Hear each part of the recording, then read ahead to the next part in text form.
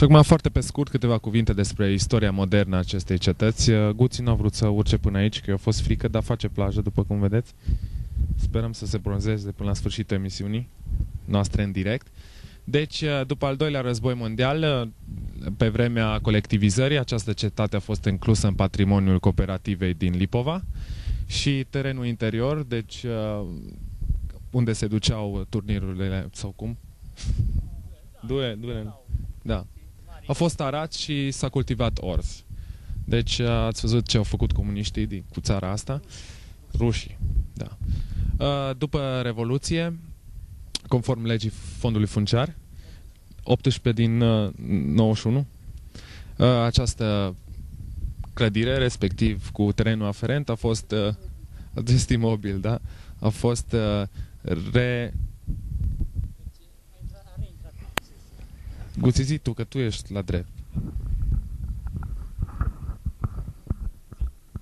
Deci, conform legii Fondului Funciar 18 din 91, după Revoluție, acest imobil cu terenul aferent a reintrat în posesia familiei Barbu. Uh, bineînțeles, din această familie a făcut parte și vestitul voievod Barbu ce frumos și vestitul Bard, Barbu Lăutaru. A mers? Deci vestitul bar de Barbu Lăutaru. Mulțumim!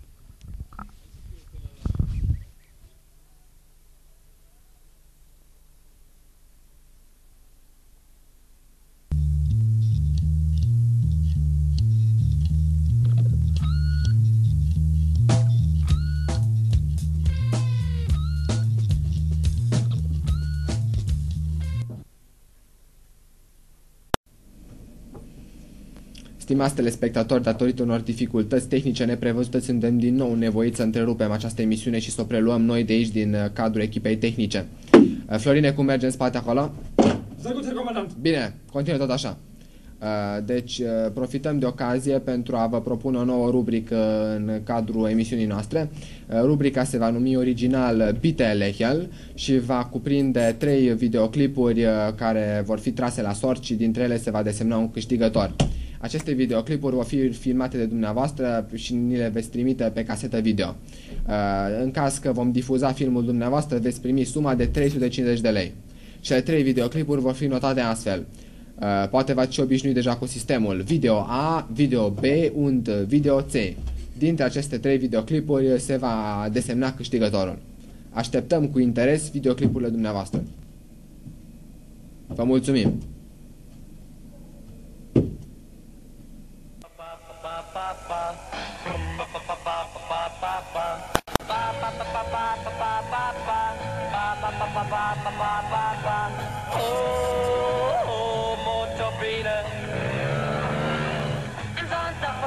Zum Rummelplatz. Du nimmst wieder auf dem Soziusplatz. Da fahren wir schnell in jede Kurve rein. Du bist froh, mit mir allein zu sein. Oh,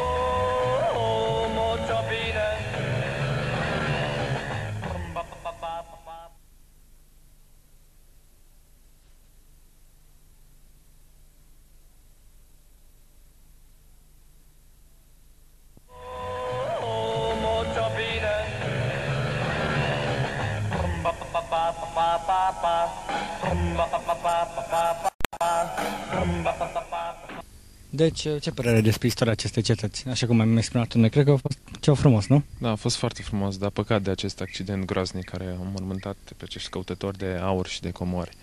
Cam cât mai ții minte? Aventura, vreo 5. Îi cunoșteai personal? Nu, nu i-am cunoscut personal, deci să nu mai vorbim despre ei.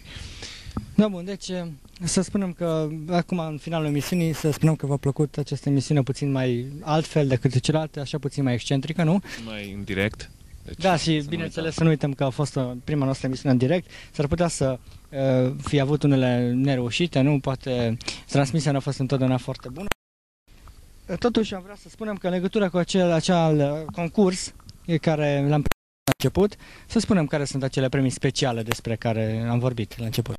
Premiile speciale, bineînțeles, sunt cele mai puțin uh, valoroase, dar sunt unele surpriză cum ar fi uh, acest cal care îl vedeți în spatele nostru.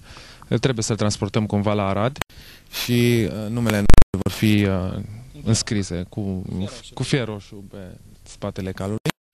Sau uh, dacă nu reușim nici cum, uh, atunci vom încerca să aducem ceva mai, un suvenir de aici, de la cetate, pentru cei care n-au ocazia să vină, cum ar fi, de exemplu, această piatră arată foarte bine și, da, Iată de cremene. Numele noastre vor fi Numele noastre, semnăturile noastre vor fi Da. înscrise aici, pe această parte. Cu litere aurite. Și, deci, cam atât a fost emisiunea nu noastră în urmați direct. Da. Vă mulțumim pentru atenție și vă urăm o vară plăcută. Să sperăm că vă veți distra și eventual dacă aveți timp să treceți pe aici, pe la Șoimoș. Da. Noi vă așteptăm la, la studio să vă ridicați premiile. Așa, nu aici la șem, așa să vă așteptăm. Ciao! Mulțumim!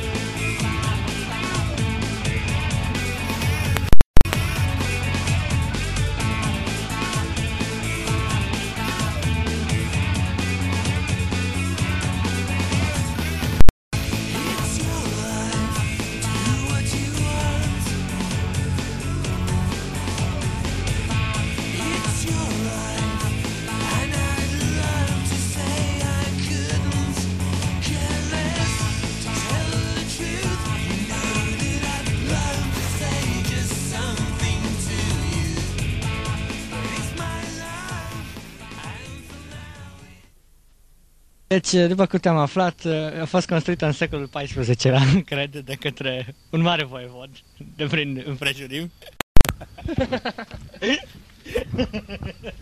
Pentru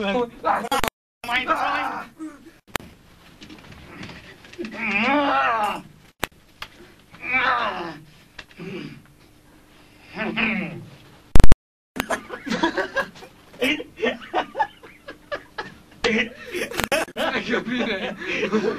Da, mulțumesc. Și de ce această uniformă deosebită față de uh, care o purtați de obicei? Domnul de atunci, Barbu cel frumos, s-a... Întrebarea la acest... Uh...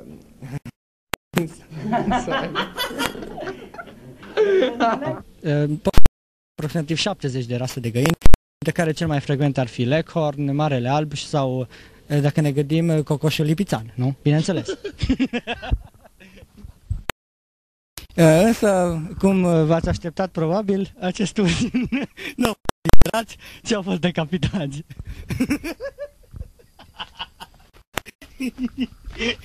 Torie, mă bucur că am reușit să vă arăt cât v-am arătat până acum, sper că v-am convins și veți avea grijă de toate aceste geci. Uh, nu, asta nu e prea de tot. Nu, nu, ce știe, poate până la urmă să distrugă cineva aceste geci.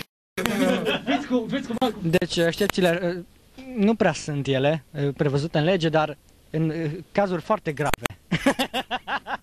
Crevetarul vrea să ducă găină. Dar noi de la Parazis nu vă oferim doar un lipici, vă, vă oferim o afacere. Pentru că doar cu o, o mie de lei vă puteți procura de la firma Rasco.